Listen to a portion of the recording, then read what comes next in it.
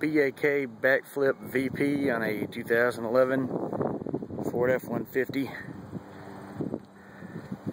crew cab FX4 just got through uh, putting it on. Took me minus having all the right tools and everything else. Uh, about about an hour and a half so quite a bit longer than 30 minutes they say to install it but it's not saying much.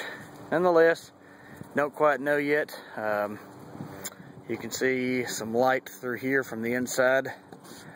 Not quite thinking this is as sealed as uh, tightly and as uh, good as they say in their advertisement or their uh, extravagantly long and sales piece of a uh, on this.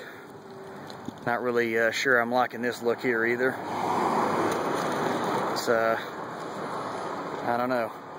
For the money, can't say I'd necessarily recommend it. Maybe it'll break in over time for uh, roughly $655 what I got it through uh, truckaddons.com. I had took about, uh, said they shipped it on February 21st. Ah, correction. Make that September 21st. It arrived today on October the 1st. It's not too bad and it's not too good. Here's some more uh, sloppy looking pieces. And whether or not that's uh, part my fault or part installation or just part of the fit and finish, I don't know, but nonetheless.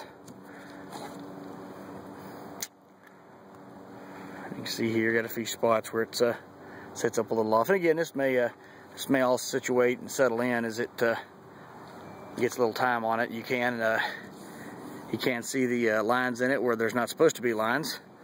That's one of the big selling points. As you can see, as you go along through here, there's more lines and another line.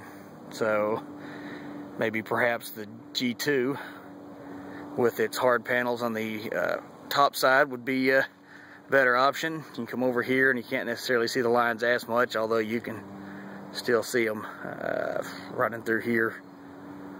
So again, that may be another thing that as it breaks in and settles in, it may uh, may get better with time. I don't know. We'll find out.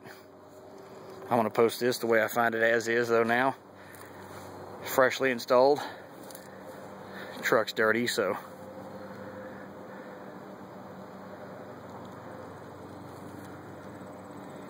Step back a little ways here so you can get a, kind of a overall broad view.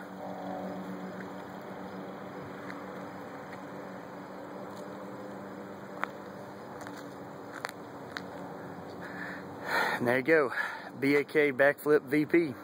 Brand new product, uh, apparently was just released about uh, a month ago for the 2011 short bed. It's a five and a half foot bed.